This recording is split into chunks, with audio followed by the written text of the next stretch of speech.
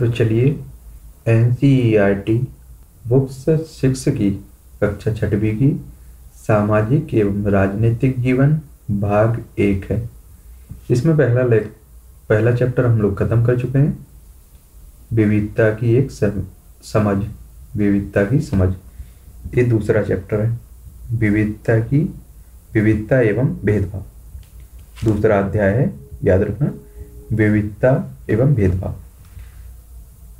पिछले पाठ में आपने विविधता के बारे में पढ़ा। कई बार जो लोग दूसरों से अलग होते हैं, उन्हें चिढ़ाया जाता है, उनका मज़ाक उड़ाया जाता है, या फिर उन्हें कई गतिविधियों या समूहों में शामिल नहीं किया जा सक, किया जाता है। अगर हमारे दोस्त या दूसरे लोग हमारे साथ ऐसा व्यवहार करें तो हमें दुख होता है, गुस्सा आता है और हम असहाय महसूस करते हैं। क्या आपने कभी सोचा है कि ऐसा क्यों होता है?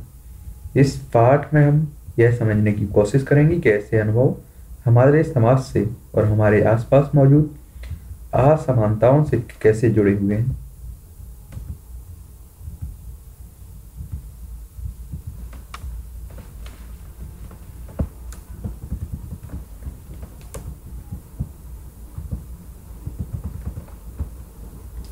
हम क्या हैं?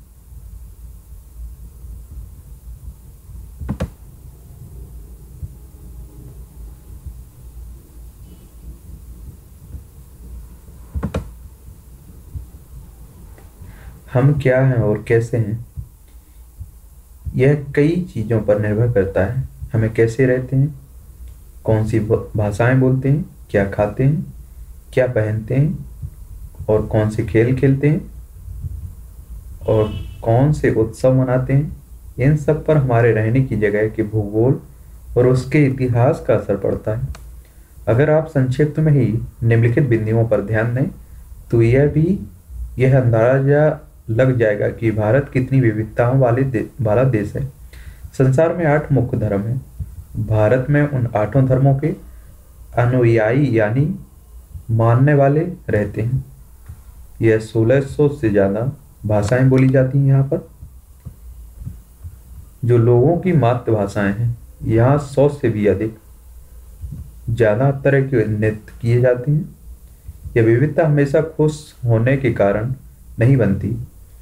हम उन लोगों के साथ सुरक्षित एवं आश्वस्त महसूस करते हैं, जो हमारी तरह दिखते हैं, बात करते हैं, कपड़े पहनते हैं और हमारी तरह सोचते हैं।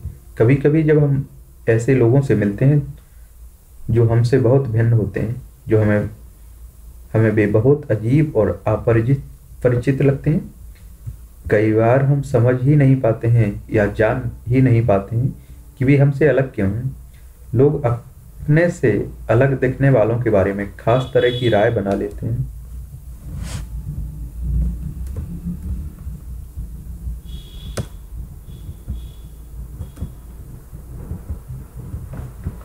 पूर्वाग्रह, उन कथनों को देखिए जो आपके, आपको ग्रामीण एवं शहरी लोगों के बारे में सही लगे। जिन कथनों से आप सहमत हैं, उन पर निशान लगाइए। क्या आपके दिमाग में ग्रामीण एवं शहरी लोगों के को लेकर किसी भी प्रकार के पूर्वाग्रह हैं, क्या दूसरे लोगों के दिमाग में भी ये पूर्वाग्रह हैं? लोगों के दिमाग में एक पूर्वाग्रह क्यों होते हैं? जिन पूर्वाग्रहों को अपने, आपने अपने आसपास महसूस किया है, उनकी एक सूची बनाइए, ये पूर्वाग्रह लोगों के व्यवहार को कैसे प्रभावित करते हैं? ये ग्रामीण लोग हैं, आधे से ज़्यादा भारतीय गाँव में रहते हैं। गाँव के लोग आधुनिक प्रौद्योगिकी का इस्तेमाल करना पसंद नहीं करते हैं। फ़सल की बुआई और कटाई के समय परिवार के लोग खेतों में बारह से चौदह घंटे तक काम करते हैं। ग्रामीण लोग काम की तलाश में शहरों और स्थानांतरण करने को बाध्य होते हैं। फिर शहरी लोग। शहरी जीवन बड़ा आसान होता है। यहाँ के यहाँ के लोग बिगड़े हुए और आलसी होते हैं। शहरों में लोग अपने परिवार के सदस्यों के साथ बहुत बहुत कम समय बिताते हैं। शहरी लोग केवल पैसे की चिंता करते हैं, लोगों की नहीं। शहरों में रहना बहुत महँगा पड़ता है। लोगों की कमाई का एक बहुत बड़ा हिस्सा किराए और आने जाने में खर्च हो जाता है। इनमें से कुछ कथन ग्रामीण लोगों को आज्ञानी की तरह देखते हैं, जबकि शहर रहने वाले लोगों को आलसी और सिर्फ़ पैसे से सरोकार रखने वालों की तरह दिखते हैं। जब हम किसी के बारे में पहले से कोई राय बना लेते हैं और उसे हम अपने दिमाग में बैठा लेते हैं तो वह पूर्वाग्रह का रूप ले लेती है। ज़्यादातर यह राय नकारात्मक होती है, जैसा कि कथनों में दिया गया है। लोगों को आलसी या कंजूस मानना भी पूर्वाग्रह है। जब हम यह सोचने लगते हैं कि किसी काम को करने का कोई एक तरीका ही सबसे अच्छा और सही है तो हम अक्सर दूसरों की इज़्ज़त नहीं कर पाते, जो उसी काम को दूसरी तरह से करना पसंद करते हैं। उदाहरण के लिए अगर हम सोचें कि अंग्रेज़ी सबसे अच्छी भाषा है और दूसरी भाषाएँ महत्वपूर्ण नहीं है तो हम अन्य भाषाओं को बहुत नकारात्मक रूप से देखेंगे। परिणाम स्वरूप हम उन लोगों की, शायद इज़्ज़त नहीं कर पाएँगे जो अंग्रेज़ी के अलावा अन्य भाषाएँ बोलते हैं। हम कई चीज़ों के बारे में पूर्वाग्रही हो सकते हैं। लोगों के धार्मिक विश्वास उनकी चमड़ी का रंग जिस क्षेत्र से वे आते हैं जिस तरह से वे बोलते हैं, जैसे कपड़े पहनते हैं, इत्यादि। अक्सर दूसरों के बारे में बनाए गए हमारे पूर्वाग्रह इतने पक्के होते हैं कि हम उनसे दोस्ती नहीं करना चाहते हैं। इस वजह से कई बार हमारा व्यवहार ऐसा होता है कि हम उन्हें दुख पहुँचा देते हैं। लड़के और लड़की में भेद। समाज में लड़के और लड़कियों में कई तरह के भेदभाव किया जाता है।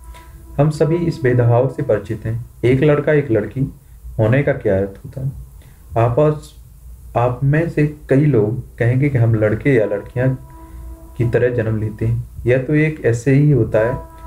इसमें सोचने वाली क्या बात है? आइए देखें कि क्या सच्चाई यही है। नीचे दी गए कथनों की सूची में तालिका को भरिए। अपने उत्तर के कारणों पर चर्चा कीजिए। बहुत ही सुशील हैं। उनका बात करने का तरीका बहुत बड़ा सौम और मधुर है। वे शारीरिक रूप से बलिष्ठ हैं, वे शरारती हैं, वे नृत्य करने और चित्रकारी में निपुण हैं। वे रोते नहीं हैं, वे उद्यमी हैं, वे खेल में निपुण हैं, वे खाना पकाने में निपुण हैं, वे भावक हैं। ठीक? तो इसमें से जो आपको लगे लड़कों के काम है और जो लड़कियों के पक्ष में ठीक है लिख देना लोग तरह तरह की बातें करते हैं। मैं मैं लंगड़ाता हूँ, मेरी बोली लड़ खड़ाती है। इसके अलावा और भी बहुत कुछ है। कभी मैं उदास हो जाता हूँ तो कभी दुखी। लोग मेरा मज़ाक उड़ाते हैं यह नई बात नहीं है। अगर तुम्हें मेरी मेरी जगह होती है तो क्या करते तुम दूसरों से कितनी अलग दिखती हो? मैं एक इंसान हूँ, मुझे शर्म शर्म आती है। घूरती आँखों में से मैं छिप जाना चाहती हूँ। क्या उसका दिमाग सही है? सिर्फ़ इसलिए कि मेरी टांगें डगमगाती हैं। लोग सोचते हैं कि मेरा दिमाग भी डगमगाता है। ऊपर चित्त में जो बच्चे हैं, उन्हें उन्हें पहले विकलांग कहा जाता था। इस शब्द को बदलकर आज के लिए जो सबसे प्रयोग किए जाने वाले, जाते हैं वे हैं खास ज़रूरत वाले बच्चे। उनके बारे में लोगों के पूर्वाग्रह को यहाँ बड़े अक्षरों में दिया गया है। साथ ही उनकी अपनी भावनाएँ और विचार भी दिए गए हैं। ये बच्चे अपने से जुड़ी रूढ़िबद्ध धारणाओं के बारे में क्या कह रहे हैं और क्या इस पर चर्चा कीजिए? आपकी राय में क्या खास जरूरतों वाले बच्चों को सामान्य स्कूल में पढ़ना चाहिए? उनके लिए अलग स्कूल होने चाहिए। अपने जवाब के पक्ष में तर्क दीजिए। अगर कथन को लें कि वे रोते नहीं हैं तो आप देखेंगे कि वह गुण आमतौर पर लड़कों या पुरुषों के साथ जोड़ा जाता है। बचपन में जब लड़कों को गिर जाने पर चोट लग जाती तो माता पिता एवं परिवार के अन्य सदस्य अक्सर यह कहकर चुप कराते हैं कि रो मत, तुम तो लड़के हो। लड़के के बहादुर होते, लड़के बहादुर होते हैं और रोते नहीं हैं। जैसे जैसे बच्चे बड़े होते जाते हैं तो वे यह विश्वास करने लगते हैं कि वे लड़के हैं, रोते नहीं अगर यहाँ तक कि अगर किसी लड़के को रोना आए भी तो वह अपने आप को रोक लेता है। लड़का यह मानता है कि रोना कमज़ोरी की निशानी है। हालाँकि लड़कों और लड़कियों, दोनों का कभी कभी रोने का मन करता है। खास, खासकर जब उन्हें गुस्सा आए या दर्द हो। लेकिन बड़े होने पर, होने तक लड़के सीख जाते हैं, अपने को सिखा लेते हैं कि रोना नहीं है। अगर एक बड़ा लड़का रोए तो उसे लगता है कि दूसरे उसे चिढ़ाएँगे या उसका मज़ाक उड़ाएँगे। वे कोमल मृदुभा स्वभाव की है। वे बहुत ही सुशील हैं। ऐसे कथनों को लेकर उन पर चर्चा कीजिए कि, कि कैसे केवल लड़कियों पर लागू किए जाते हैं। क्या लड़कियों में ये गुण जन्म से ही होते हैं? या वे ऐसा व्यवहार समाज से सीखती हैं? आपकी उन लड़कियों के बारे में क्या राय है? जो कोमल एवं मृदु स्वभाव की नहीं होती हैं और शरारती होती हैं। ठीक है?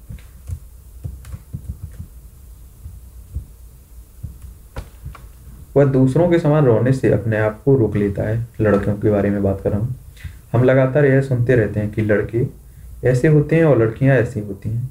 समाज इन सम, मान्यताओं को हम बिना सोचते समझे मान लेते हैं।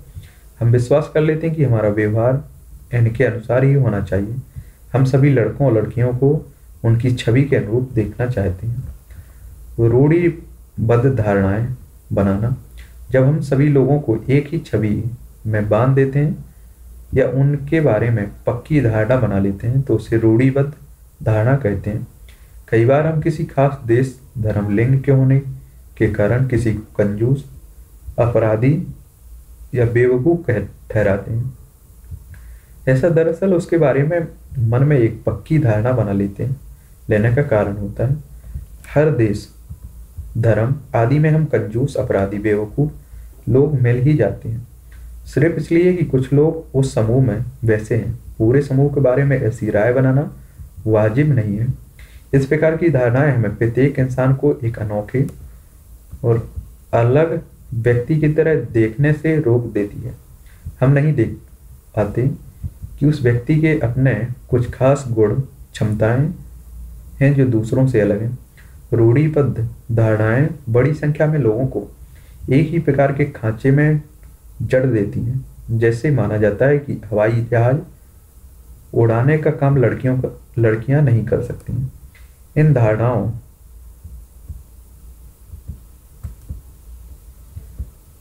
धारणाओं का असर हम सब पर पड़ता है।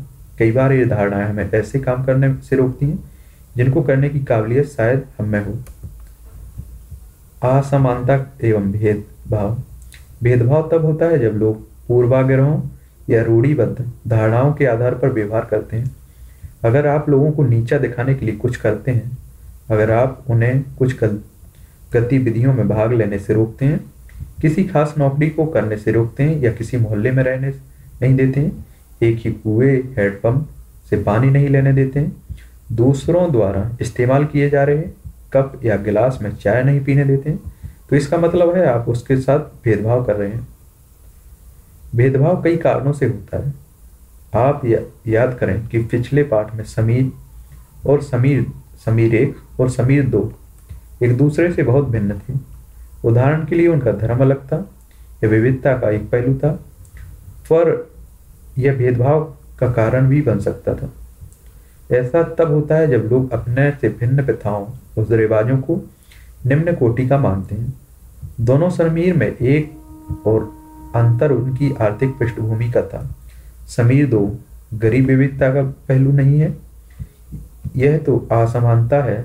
बहुत लोगों के पास अपने खाने, कपड़े और घर की मूल जरूरतों को पूरा करने के लिए साधन और पैसे नहीं होते।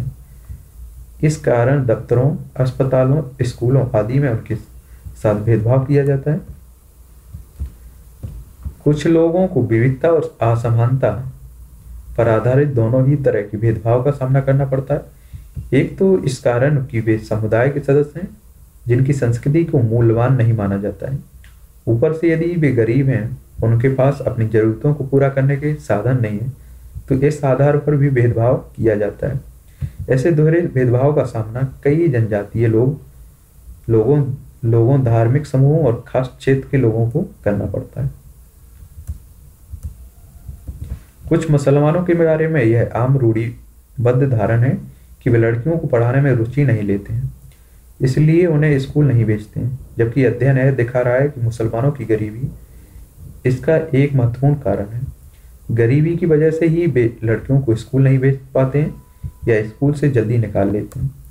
जहाँ पर गरीबों तथा शिक्षा पहुँचाने के प्रयास किए गए, वहाँ मुस्लिम समुदाय के लोगों ने अपनी लड़कियों को स्कूल भेजने में रुचि दिखाई है। उदाहरण के तौर पर केरल में स्कूल प्रयाग घर के पास हैं। सरकारी बस की सुविधा बहुत अच्छी है जिससे ग्रामीण क्षेत्रों में शिक्षकों को स्कूल पहुँचने में मदद मिलती है। उनमें से साठ प्रतिशत से अधिक ज़्यादा महिला शिक्षक हैं। इन सभी कारकों ने बहुत सारे गरीब परिवारों के बच्चों को स्कूल जाने में मदद की है, जिसमें मुसलमान लड़कियाँ भी शामिल हैं। दूसरे राज्यों में जहाँ ऐसे प्रयास नहीं किए गए, वहाँ गरीब परिवारों के बच्चों को स्कूल जाने में मुश्किल आती है। चाहे वे मुसलमान हों, जनजातीय हों या अनुसूचित जाति हों, ज़ाहिर है कि मुसलमान लड़कियों की स्कूल से गैर हाजिरी का कारण धर्म नहीं गरीबी है। ठीक है? फिर है आपका भेदभाव का सामना करने पर। अपनी आजीविका चलाने के लोग अलग अलग तरह के काम करते हैं, जैसे पढ़ाना, बर्तन बनाना, मछली पकड़ना, वड़ाईगिरी करना, खेती एवं बुनाई इत्यादि। लेकिन कुछ कामों को दूसरों के मुकाबले अधिक महत्वपूर्ण माना जाता है। सफ़ाई करना, कपड़े धोना बाल काटना, कचरा उठाना, जैसे कामों को समाज में कम महत्व का माना जाता है। इसलिए जो लोग इन कामों को करते हैं, उनको गंदा और अपवित्र माना जाता है। यह जाति व्यवस्था का एक बड़ा ही महत्वपूर्ण पहलू है। जाति व्यवस्था में लोगों के समूहों को एक तरह की सीढ़ी के रूप में रखा गया है, जिसमें एक जाति दूसरी जाति के ऊपर या नीचे थी, जिन्होंने अपने आप को इस पीढ़ी में सबसे ऊपर रखा है। उन्होंने अपने को ऊँची जाति का और उत्कृष्ट कहा है। जिन समूहों को इस श्रेणी के तले में रखा गया उनको अछूत और आयोग कहा गया है। जाति पिता के नियम एकदम निश्चित थे। इन अछूतों को दिए गए काम के अलावा और कोई काम करने की इजाज़त नहीं थी। उदाहरण के लिए, कुछ समूहों को सिर्फ़ कचरा उठाने और मरे हुए जानवरों को गाँव से हटाने का की इजाज़त थी। उन्हें ऊँची जाति के लोगों के घर में घुसने, गाँव के कुएँ से पानी लेने और यहाँ तक कि मंदिरों में घुसने की भी इजाज़त नहीं थी। उनके बच्चे दूसरी जाति के बच्चों के साथ स्कूल में नहीं बैठ सकते थे। इस तरह ऊँची जाति के लोगों को जो अधिकार हासिल थे, उन उससे उन्होंने तथाकथित अछूतों को वंचित रखा।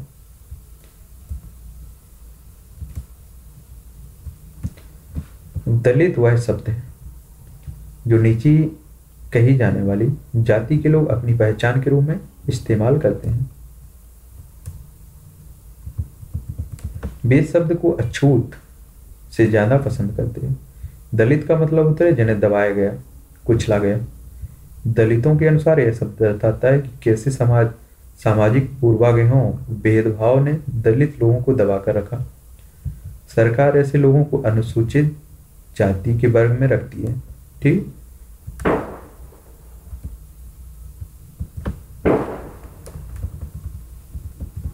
अगले पृष्ठ पर हम देख यह देखते हैं कि कैसे भारत की एक मजदूर हस्ती को भेदभाव का सामना करना पड़ा था। यह भाग हमें यह समझने में मदद करेगा कि कैसे जाति की तरह बड़ी बड़ी संख्या में लोग भेदभाव के शिकार हुए। भारत के एक महान नेता, डॉक्टर भीमराव अंबेडकर ने जाति व्यवस्था पर आधारित भेदभाव को कि अपने अनुभवों के बारे में लिखा है। यह अनुभव उनको 1901 में हुआ जब वे केवल 9 साल के थे। वे महाराष्ट्र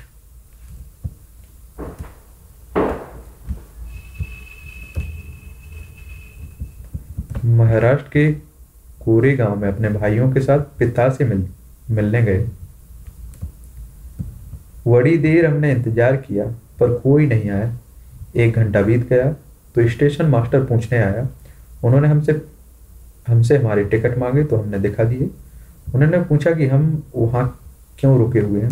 तो हमने बताया कि हम कोरे गाँव जाना चाह जाना था और हमें पिताजी या उनके नौकर के आने का इंतज़ार कर रहे थे, लेकिन दोनों में से कोई भी नहीं पहुँच पाया और हमें पता नहीं था कि कोरे गाँव कैसे पहुँचते हैं।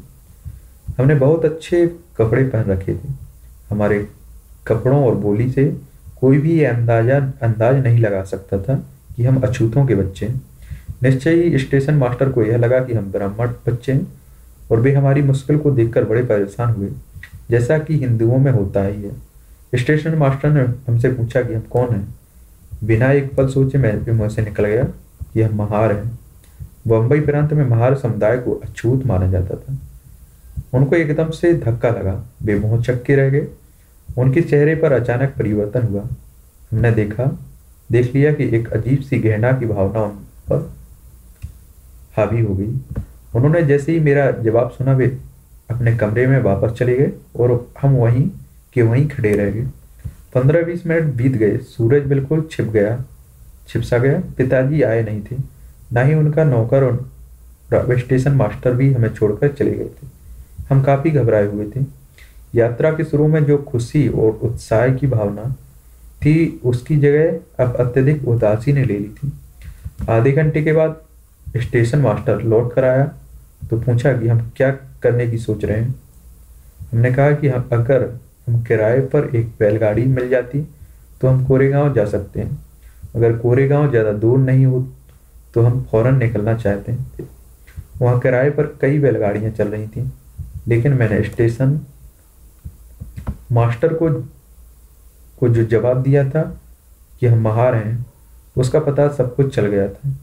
कोई भी गाड़ीवान अछूत वर्ग की सवारी को ले जाकर अपने आप को गंदा और नीचा नहीं बनाना चाहता था। हम दोगुना किराया देने को तैयार थे, पर हमें एहसास हुआ कि हम पैसे से नहीं बन सकती है। स्टेशन मास्टर मास्टर जो हमारे लिए गाड़ी वालों से मोल तोल कर रहे थे, चुपचाप खड़े हो गए। समझ नहीं आ रहा था कि क्या करें। Doctor Ambedkar writing and speeches speeches खंड बारह, संपाद, संपादन है इसके, बसंत मोह बंबई शिक्षा विभाग महाराष्ट्र से एक कहानी ली गई है। ठीक है चंद भीमराव अंबेडकर साहब की है। ऊपर देख लेते हैं एक, उनका कथन हो रहा है।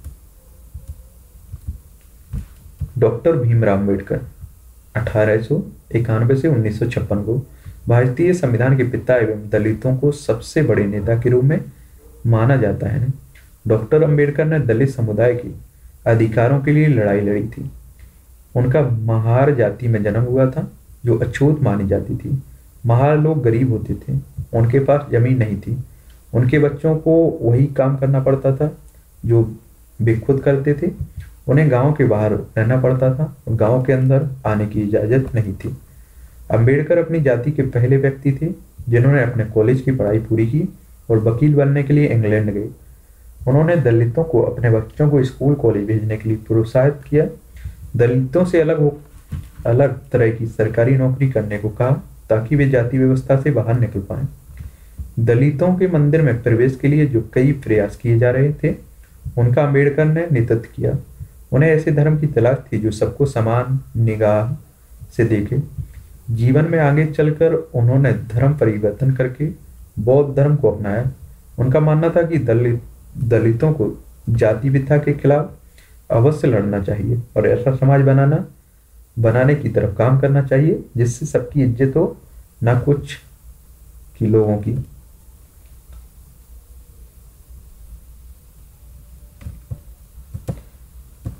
कल्पना कल्पना करिए, करके देखिए कि यह कितना मुश्किल होगा, अगर लोगों को एक जगह से दूसरे जगह जाने ना दिया जाए। यह कितना अपमानजनक और दुखदाई होगा अगर लोग आपसे दूर दूर रहें, आपको छूने से मना करें, आपको पानी ना पीने दें यह छोटी सी घटना दिखाती है कि कैसे गाड़ी से एक से दूसरी जगह जाने के साधारण काम की सुविधा तीन बच्चों के पास नहीं थी, जबकि वे पैसा दे सकते थे। स्टेशन के सभी गाड़ी वालों ने बच्चों को ले जाने से मना कर दिया। उन्होंने बच्चों के साथ भेदभाव भरा व्यवहार किया। इस कहानी से यह बिल्कुल साफ़ है कि जाति पर आधारित भेदभाव न केवल दलितों को कई गतिविधियों से वंचित रखता है, बल्कि वह उन्हें आदर और सम्मान भी नहीं मिलने देता है, जो दूसरों को मिलता है। समानता के लिए संघर्ष। ब्रिटिश शासन से आज़ादी पाने के लिए जो संघर्ष किया गया था, उसमें समानता के व्यवहार के लिए किया गया संघर्ष भी शामिल था। दलितों और तो जनजातीय लोगों और किसानों ने अपने जीवन में जिस गैर बराबरी का अनुभव किया, उसके खिलाफ उन्होंने लड़ाई लड़ी। जैसा कि पहले भी बात कर हुई है, बहुत सारे दलितों ने संगठित होकर मंदिर में प्रवेश पाने के लिए संघर्ष किया। महिलाओं ने मांग की कि जैसे पुरुषों के पास शिक्षा का अधिकार है, वैसे उन्हें भी अधिकार मिले। किसानों और दलितों ने अपने आप को जमींदार होने की उच्च ब्याज दर से छुटकारा दिलाने के लिए संघर्ष किया।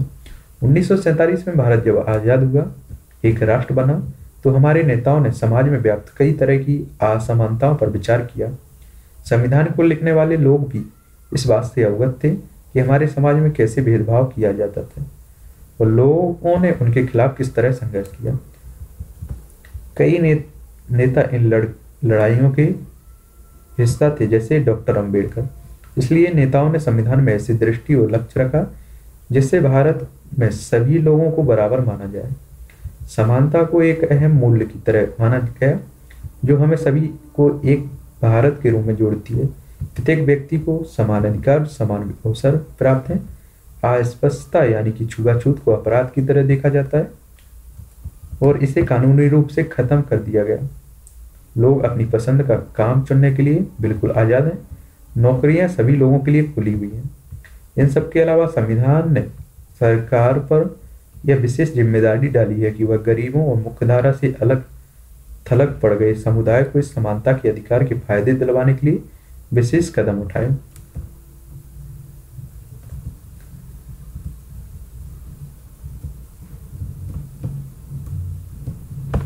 हालाँकि हमारे संविधान में इन विचारों पर ज़ोर दिया गया पर यह पाठ इसी बात को उठाता है कि असमानता आज भी मौजूद है। समानता वह मूल्य है जिसके लिए हमें निरंतर संघर्ष करते रहना होगा। भारतीयों के लिए समानता का मूल्य वास्तविक जीवन का हिस्सा बने, सच्चाई बने। इसके लिए लोगों के संघर्ष, उनके आंदोलन और सरकार द्वारा उठाए जाने वाले कदम बहुत ज़रूरी है। ये भारत का संविधान लिखने वाले समिति के कुछ सदस्य हैं। ठीक है?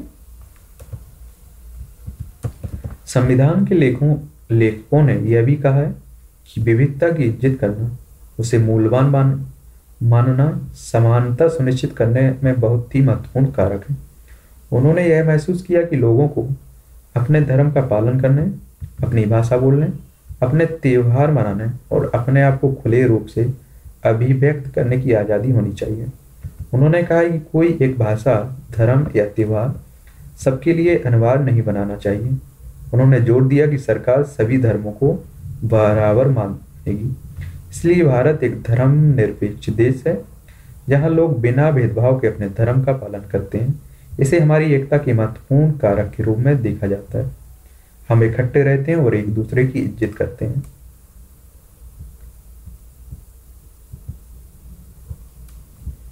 ये बाकी आपके प्रश्न, अभ्यास प्रश्न है जो आपको लिख सकते हैं आप लोग। एक दो बार आप लोग सुनोगे, अपने आप समझ में आ जाएगा कि लेक्चर का महत्व क्या है? ठीक?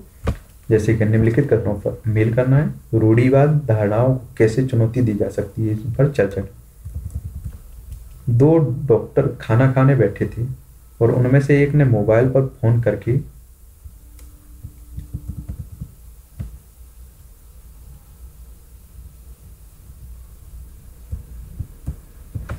इसमें हुआ तीसरा। अपनी बेटी से बात की, जो उस समय स्कूल से लौटी थी।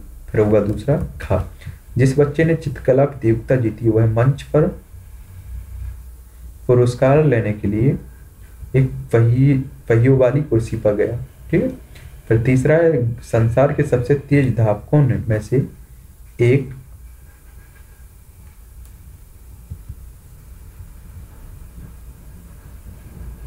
दमाग का पुराना मरीज़ है। वह बहुत अमीर नहीं था, लेकिन उसका एक अंतरिक्ष यात्री बनने का सपना पूरा हुआ। ठीक है? इसमें दूसरा जिस प्रकार क्वेश्चन है कि लड़कियाँ माँ बाप के लिए बोझ हैं। यह रूढ़ीवादी धारणा धारणा एक लड़की के जीवन को किस तरह प्रभावित करती है? उसके अलग अलग पाँच प्रभावों का उल्लेख करना है। भारत का संविधान समानता के बारे में क्या कहता है? आपको यह क्यों लगता है कि सभी लोगों में समानता होना ज़रूरी है? कई लोग हमारी उपस्थिति में ही पूर्वाग्रह से भरा आचरण करते हैं। ऐसे में अक्सर हम कोई विरोध करने की स्थिति में नहीं रहते, क्योंकि मुँह पर तुरंत कुछ कहना मुश्किल जान पड़ता है। अपनी कक्षा को दो समूह में बांटिए। और प्रत्येक समूह इस इस पर चर्चा करें कि दी गई परिस्थिति में वे क्या करेंगे। गरीब होने के कारण एक सहपाठी को आपका दोस्त चढ़ा रहा है। आप अपने परिवार के साथ टीवी देख रहे हैं। उसमें से कोई सदस्य किसी खास धार्मिक समुदाय का पूर्वाग्रह ग्रस्त टिप्पणी करता है? आपकी कक्षा के बच्चे एक लड़की के साथ मिलकर खाना खाने से इनकार कर देते हैं, क्योंकि वे सोचते हैं कि वह गंदी है। फिर आगे, किसी समुदाय के खास उच्चारण का मज़ाक उड़ाते हुए कोई आपको चुटकुला सुनाता है? लड़के लड़कियाँ आपको टिप्पणी कर रहे हैं, लड़कियाँ उनकी तरह नहीं खेल सकती। उपयुक्त परिस्थितियों में विभिन्न समूह में कैसा बर्ताव करने की बात की गई? इन पर कक्षा में चर्चा कीजिए। साथ ही इन मुद्रों, मुद्दों को उठाएँ। उठाते समय कक्षा में कौन सी समस्याएँ आ सकती हैं, इन पर भी बातचीत करना है आपको। ठीक है? तो ये था हमारा। विविधता किस प्रकार है हमारे समाज में और भेदभाव किस प्रकार है? ठीक है?